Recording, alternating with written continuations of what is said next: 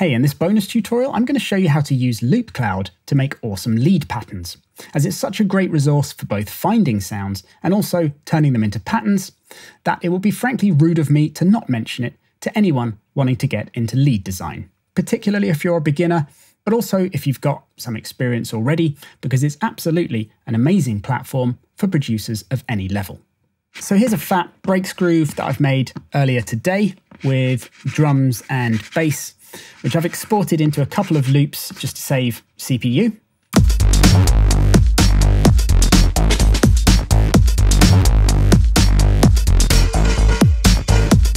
Now, the great thing about LoopCloud is it actually comes with a whole suite of plugins. As of the end of this month, August 23, there'll be four plugins in the suite, with LoopCloud Sounds coming out as well. It's currently on beta but I'll feature that later on the channel in its own video. Uh, for now, we're going to look at the LoopCloud main app.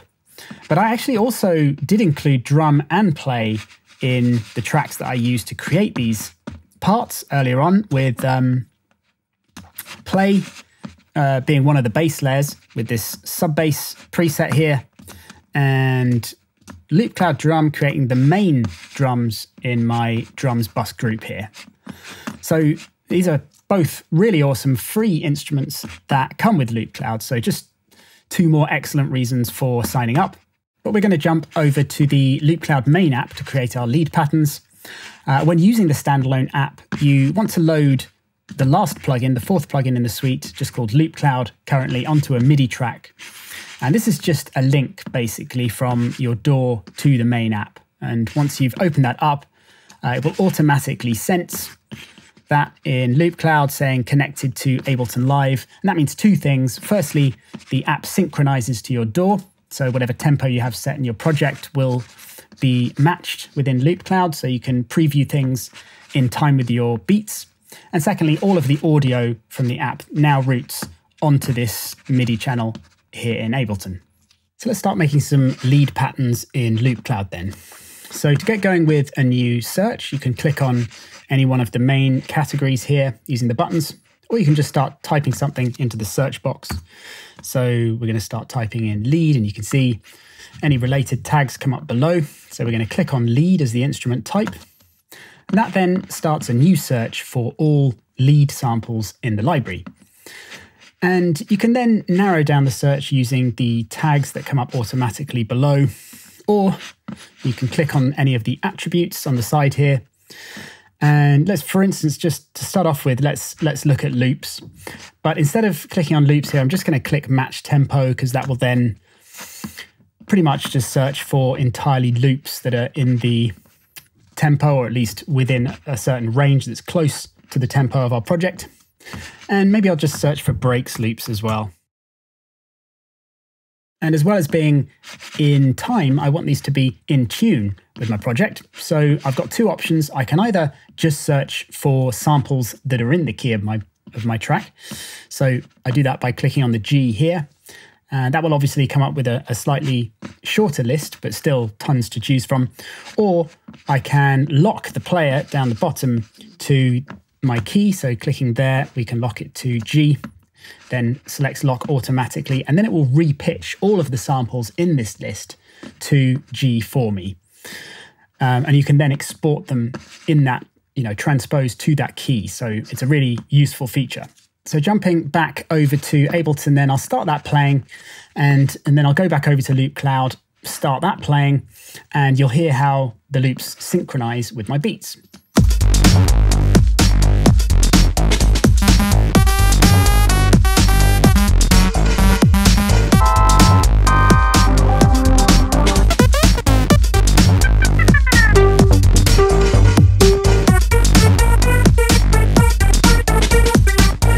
So some interesting stuff coming up there already, and breaks is actually one of the um, more minority genres on LoopCloud. So I would almost certainly expand this out to something like house, uh, which will then give you tons more lead options in the thousands, if not tens of thousands, as opposed to in the hundreds.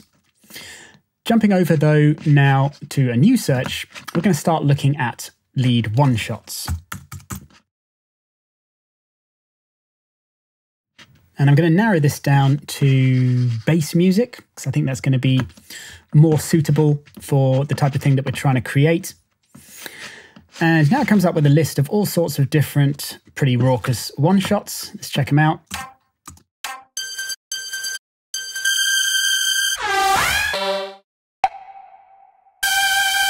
And all of these are being repitched to G, don't forget, as we've still kept the player in pitch lock mode.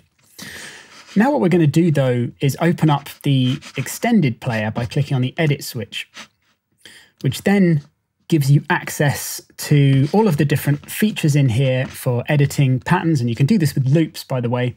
So if you want to kind of customize loops to make them your own, then you can chop them up in here, add effects and all sorts.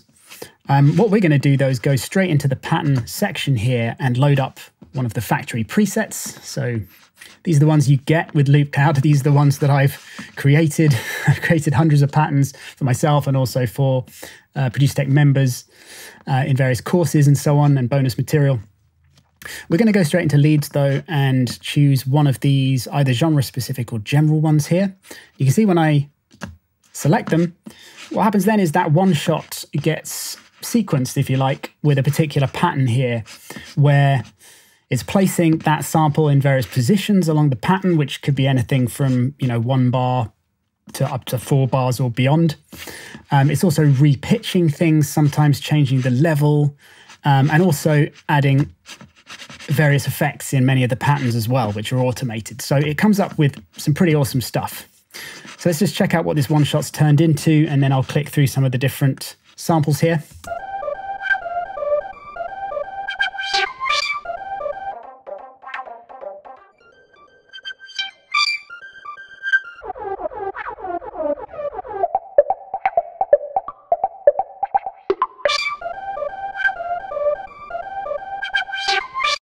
And we can try maybe one of the, I like the techno ones.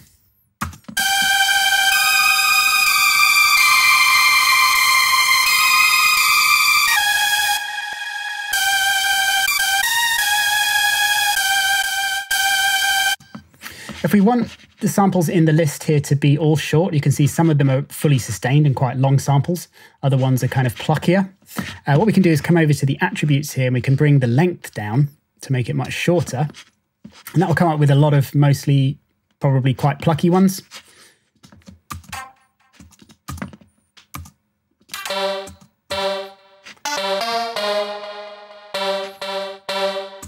it's also useful actually for doing all sorts of other things. You can select the tone, so you can you know only choose higher frequency or lower frequency ones, for instance, or you can even get in and start to choose different envelope properties like the attack and decay.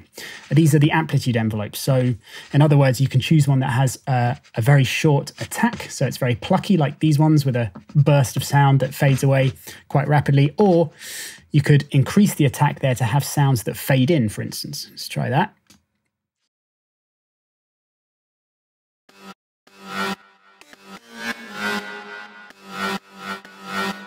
Always sounds quite cool, a bit more unusual. Let's go back to pluckier sounds now, though. In fact, I'll get rid of the ones with uh, a fade in at the start to make sure they're all pretty, pretty plucky there. And yeah, let's just play our groove and then check out these different patterns with it to hear how they sound.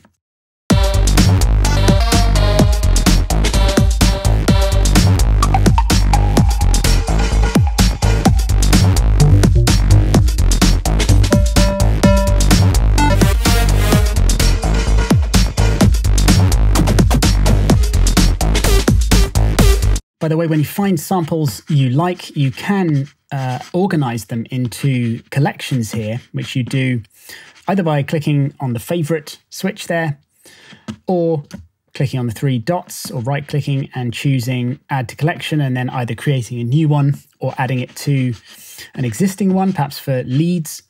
Uh, it then appears over here on the collections tab. I've actually got a fave plucks collection here um, and this just saves time when you're creating patterns. You know, you can just come in, load up the pattern, choose all these different plucks, and you know they're going to sound great.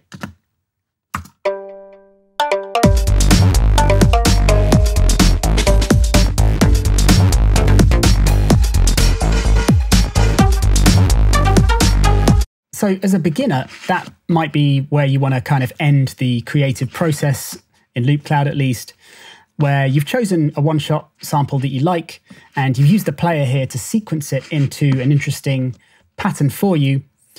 And you can now export that out as a loop that is synchronized with your project and ready to go. So you can start chopping it up or just arranging it from there. Um, but if you want to create something that's even more unique, then it's actually quite easy to do that in the player section here. Now, I've obviously got many tutorials showing tons of different techniques going right up to very advanced with the player. But even with fairly basic editing skills, for instance, you know, clicking on these slices here for a minute, an existing pattern, moving them around, um, trimming them using the edges, bringing the level up and down by clicking on the top, adding a, a fade in or out by, you know, dragging the, the edges there. And that's before we even start to get into more advanced stuff like, you know, clicking on the tools here and doing things like slipping, shuffling through the sample, uh, reversing the sample, or going to pitch mode where you can see how things are transposed and then shifting the pitches up or down from there. But before we get into that, let's just have a little jam around with this. So I'm actually going to bring the pattern length down to just one bar, zoom into that by clicking on the ruler here, and I'll just delete all these. You don't have to delete them. You could also double click to mute them. And I'm going to delete them though, and bring this one down so it's a bit kind of snappier. And yeah, and then I'm just going to duplicate this out and adjust the level and maybe add a fade here and there, possibly reverse it if the sample is going to work reversed, uh, and that kind of thing. Yeah, to duplicate this slice, by the way, you right click and choose duplicate there. Or if you can remember the keyboard shortcut, Command D with it selected. Uh, you can also hold down the Command key on a Mac or probably Control on a PC and then get a slice that way as well. So let's have a jam with this.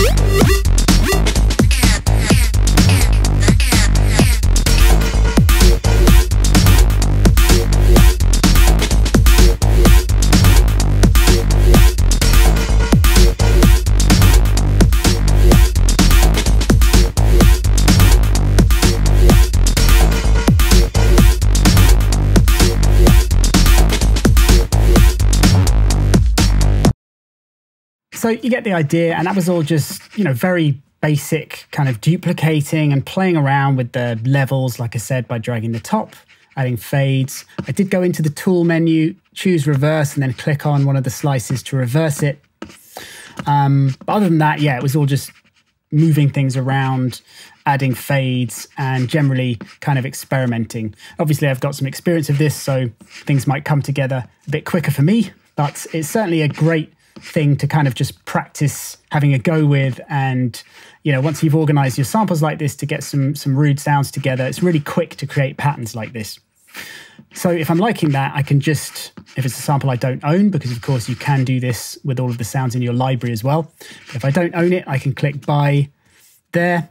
And then i either choose um, export process current track, which will be this, or you can also have it set to current mix, which is the default. Either of those two modes uh, will work. And then when you click it and drag that out, it's now going to have a loop which I can just drag straight into Ableton here and get rid of the, the warp, turn down the level a bit, duplicate that out, and that should work now straight away with our groove.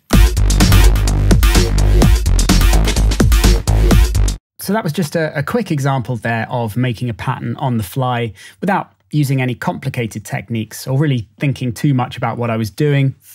And it still managed to come up with a pretty cool and interesting loop that I could then use straight away in my project without having to do very much.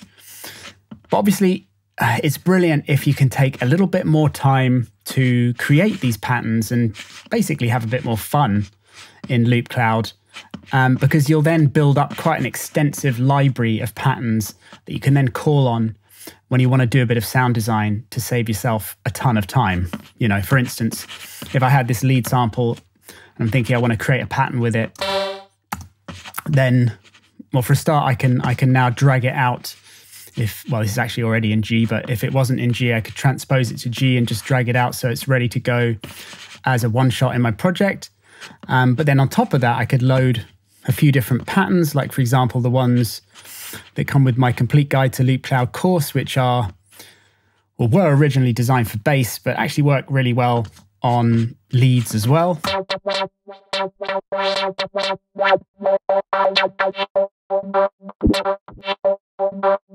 So it's got a ton of different kind of filter presets initially, and then some of the later ones have different delay effects, which actually work really well as well.